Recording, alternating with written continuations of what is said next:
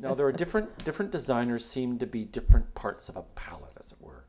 There's the Desmond Heeley, there's a Susan Benson, there's a Peter Hartwell. There's so many. I mean, there's a world of wonderful designers. Mm-hmm. How do you, when you have a script that you're going to direct, how do you come to a designer? I know Astrid is a is a favorite, but do you ever go to other designers? Oh yes, yes. Well, I'm working with John Pennoyer at the moment, and uh, we did the same thing. I I went to his house he had read the play. I had read the play.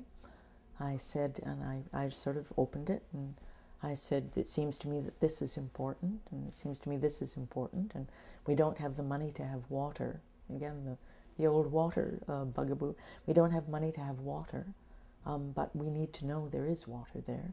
We have four locations. We don't have the money, nor indeed do we want to have four specific locations.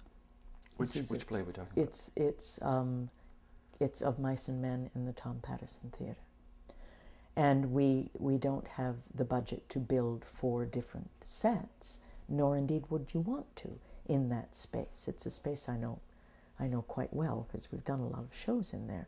So what we need are four different locations that are done by, I said to John, your imagination and your genius and your vision along with Bonnie Beecher's, who is going to light the show, so that we can see that we're in a completely different place and we have the atmosphere and the feel and the smell and the sound of a completely different place. But in fact, we're not in a completely different place.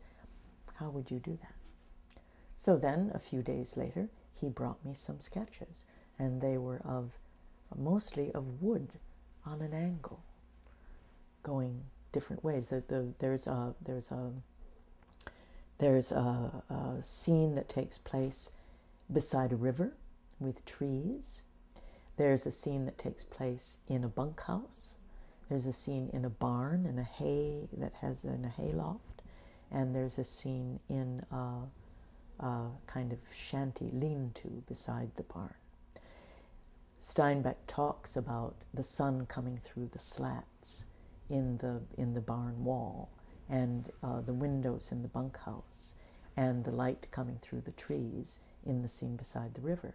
So John took those images of the light coming through to make then slats of wood separated so that the light could come through them.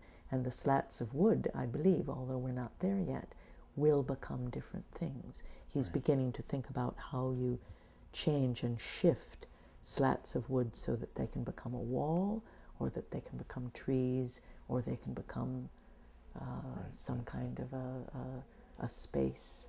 Uh, so you know you're in a different place, but they still create the ambiance uh, for the light to come through and all that sort of stuff that designers can do that I, that I can't. They're wonderful. Oh, they're amazing.